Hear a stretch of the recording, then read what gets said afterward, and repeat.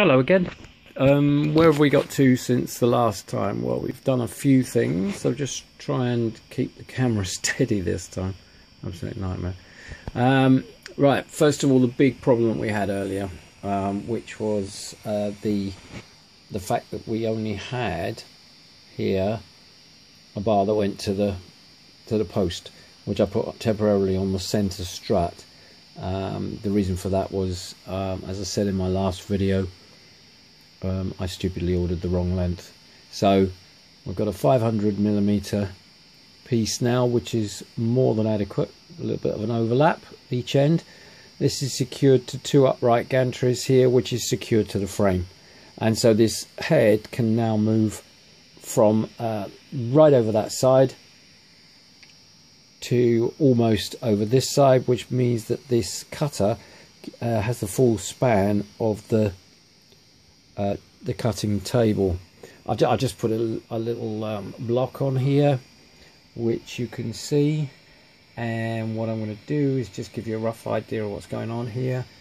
Is uh, line that up with a line, which we got on here. Now, obviously, if this was actually cutting, um, this would be accurately lined up. I I would use um, a um, a fence here and clamps for the piece of uh, material. The material I'm using, I'm just showing you now, is is large because um, it is easy to see for the video, but it would not be able to be that large. It would only obviously be as large as the as the depth of the actual of the actual blade um, allows it. So that's the idea, clamped on there. The stepper motor, um, which was there before, um, will drive this screw and this screw would be attached to the base of this. So as that turns, this moves along and as you can see that will move the um, the material under the blade till it hits a limit switch then it will move it back and so on and so forth at the moment there is nothing to change the height of the cutter in relation to the um, uh, to, to, to, the uh, metal. So um, uh, that's what the next stage we'll be working on. But what else have we added? Well, we've changed the stepper board to one that can be programmed. Uh, that came uh, in less than uh, 24 hours, which is quite amazing. And has a um, this particular model. Obviously, if you're going to have to program it remotely from the computer, you're going to need a um, a screen which comes with it which is that screen there and you're going to need uh, it actually runs a little bit hotter so it's a fan. And you're going to need um, a, a, keypad which is, is this um, this one. It, I mean it's cheap and cheerful but it does the job.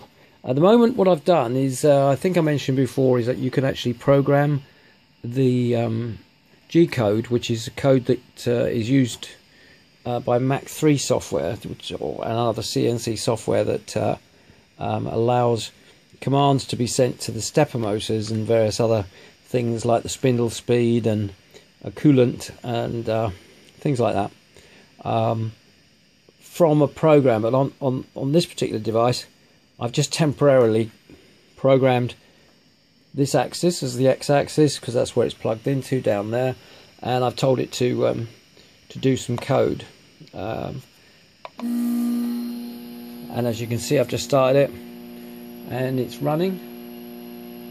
So the x-axis is, is um, incrementing as it's running. It's just telling it to go higher and higher to the to the point I want. Now if this was turning a screw this would effectively let me just put this down a second. This would effectively turn the screw which would move the table progressively and quite slowly in this direction like that. Bloody sight more um, smoothly than I can. Um, when it hits the end there will be a limit switch. So that's reached the limit. So at this point this stepper motor would um, stop. And then it would reverse direction um, and um, start going back the other way, pulling the pulling the table back, cutting another groove in here, and that will keep going on. Backwards and forwards being run by the program that I've put in like this but a lot slower. Um, progressively cutting the metal uh, until it's cut through. So that's the idea. At the moment you can see it's running. Um, and you can see the x-axis going up five six seven and so on and these are um, points per millimeter so you know it's quite a it's quite an accurate machine. I can make it go faster, I can make it go slower, um, and I can make other axes drive. The other axes, one particularly, is, is the Z axis, which this will be fitted to eventually, um, would actually be moving down. So if you can imagine this being fixed in a horizontal position, and moving down every time it reaches one end the computer or the, the program on here tells the um, tells the z-axis to um, to actually drop um, the head by one division and that division can be as much as or as little as you want it to be so once it's finished one pass it drops it a little bit comes back saws it again uh, and then repeats till it, reaches the end, switches over, goes back, drops, comes back, and so on and so forth. So that's the idea. So effectively, while I'm in there making a cup of coffee, um, this this whole thing is is doing its uh, job. What does it cost so far? Uh, the whole of the computer thingy jiggy stepper thing here, including the programming, is about 80 quid, $100, something like that, $110.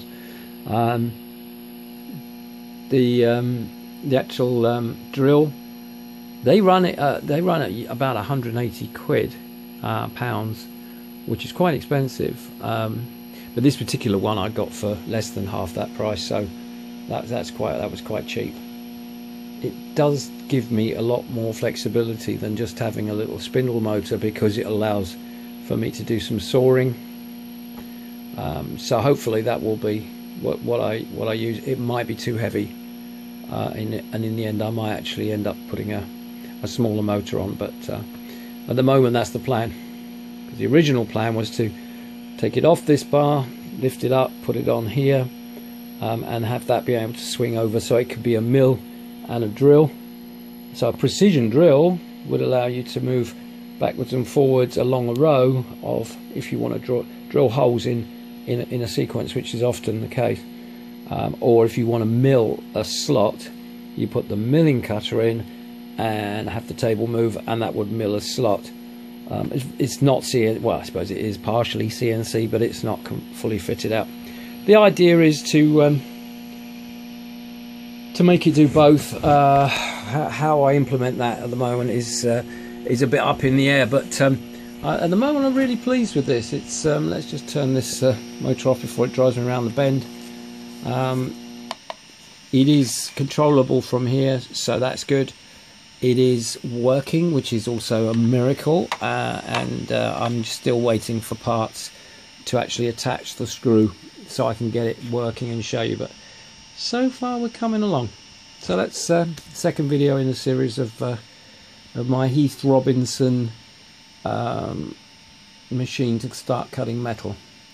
Um, obviously, a lot of this is out in the open at the moment. It's not going to be because there's going to be lots of liquids and things like that flowing about and bits of metal flying in all directions. So we're not going to. We're obviously going to have to protect that, but we have plans for that. So that's the second video. See you again next time, hopefully with a, an update on how it all works. Cheers.